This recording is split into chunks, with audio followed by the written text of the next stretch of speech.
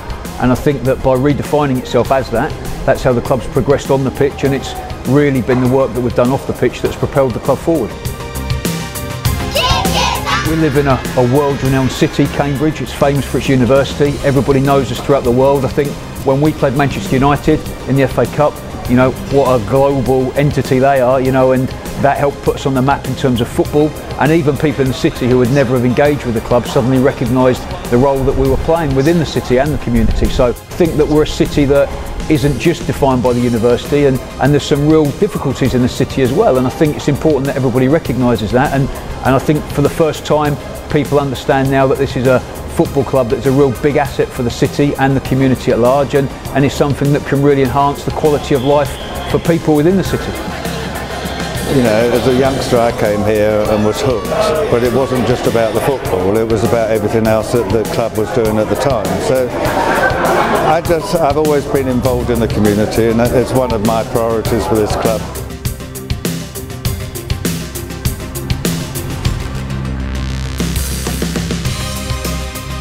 The peak of the pyramid is our first team.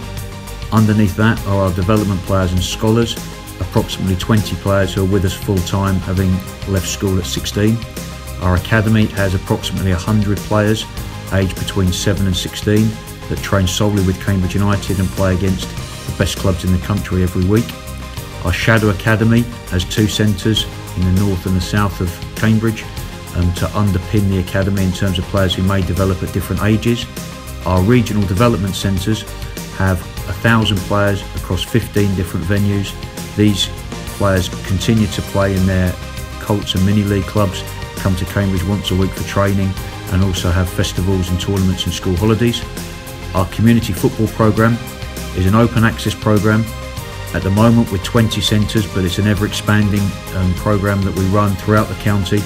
Girls and boys, all ages and abilities and our community sport and community trust is where we work in schools providing all sorts of sports, not just football, fencing, archery, quick cricket, tag rugby, gymnastics, anything to engage kids in activity and sport.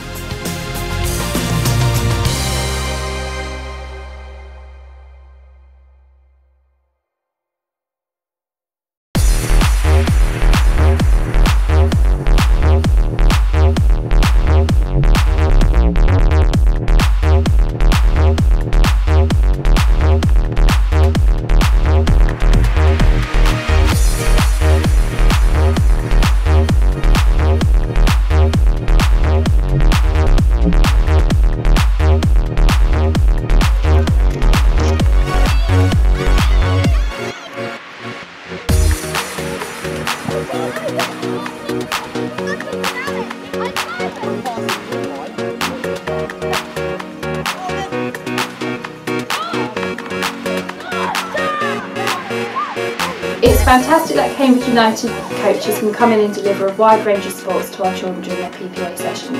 Things like football, cricket, tag rugby, hockey and multi-sports.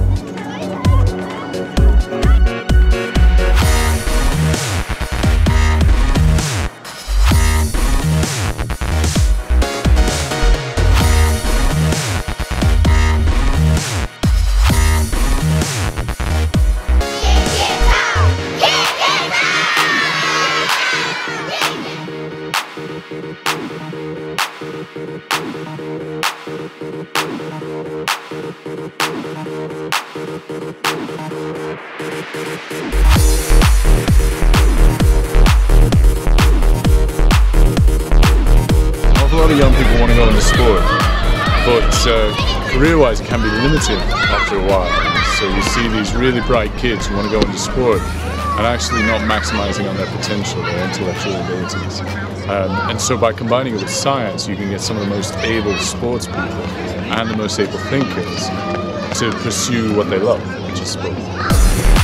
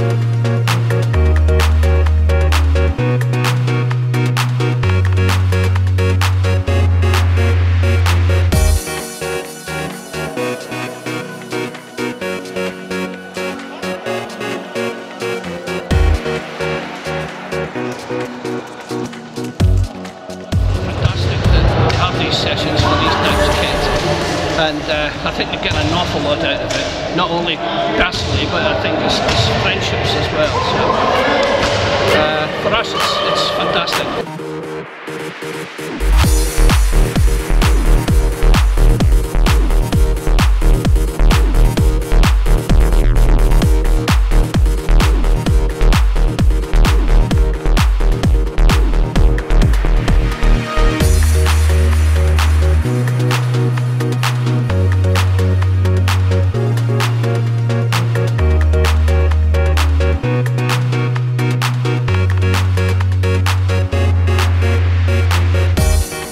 Cambridge United soccer schools are open access school holiday courses that are open to children of all genders, abilities, and backgrounds.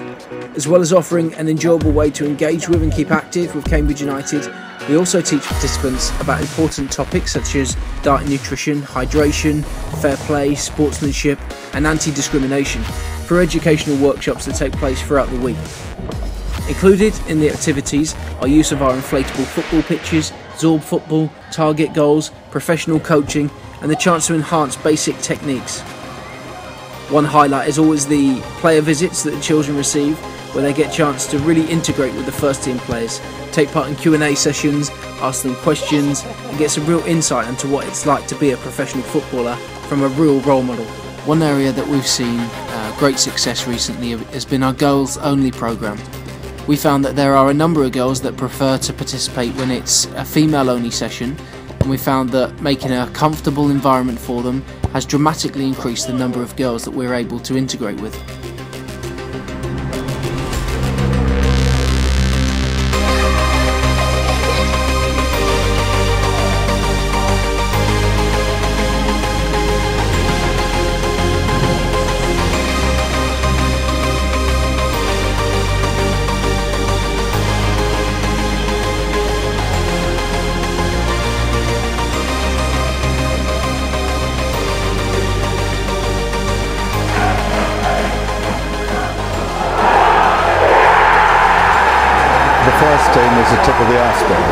Then go down the development squads, you look at the work we do in 70 schools every week, teaching every other sport apart from football. And it's just encouraging healthy living, participation, acknowledging that even in a rich city like this, there are a lot of lonely people and therefore you can help people have a better life. And using football, which is universally loved by so many people, is such a powerful vehicle to use. We want to just keep growing. We want to keep um, making sure that everything this football club does is for the good of the city and it makes the city proud of us as a football club. He's headed home and United have the lead.